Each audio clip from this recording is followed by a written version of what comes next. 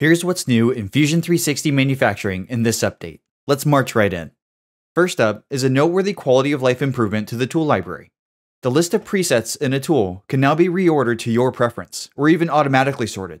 This is really nice when dealing with long lists of presets, or if you just care about being organized. Next, we have a couple of new features for the machining extension. Previously available as preview features, toolpath trimming and move entry position are now ready to take your toolpaths to the next level of customization and productivity. Use toolpath trimming to remove areas of a toolpath that are not needed, whether it be for saving time in a 2D contour or fine-tuning boundaries in steep and shallow.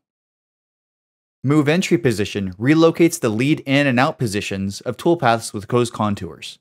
Use this feature to hide entry exit marks on the part or specify the optimal location for the tool to start and end to minimize motion. While we're on the topic of the machining extension, we've rebalanced some functionality contained in the machining extension to promote clarity. Because 3 plus 1 and 3 plus 2 milling are available to all Fusion 360 subscribers, we've moved the interactive tool orientation controls into the core Fusion 360 subscription. This makes Fusion 360 a robust and reliable 3 plus 2 programming solution for all subscribers. Additionally, the machining extension will inherit the multi-axis toolpaths Swarf, multi-axis contour, and multi-axis flow. Offering these toolpaths with rotary and steep and shallow make the machining extension a powerful package for all of your 4 and 5 axis programming needs. 2D wrap toolpaths, however, will continue to be available in the core Fusion 360 subscription. One more feature coming out of preview is Advanced Arrange, available in the Nesting and Fabrication extension.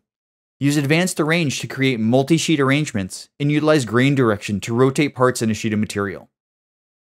Have you been wondering how to try preview features before they graduate to full feature status?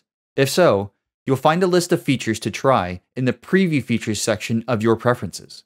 Turn on a checkbox to try something new, and don't forget to provide feedback so we can make the best tools for you.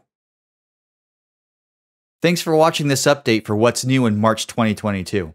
Don't forget to check the blog post to see what else is new in Fusion 360. See you in the next update.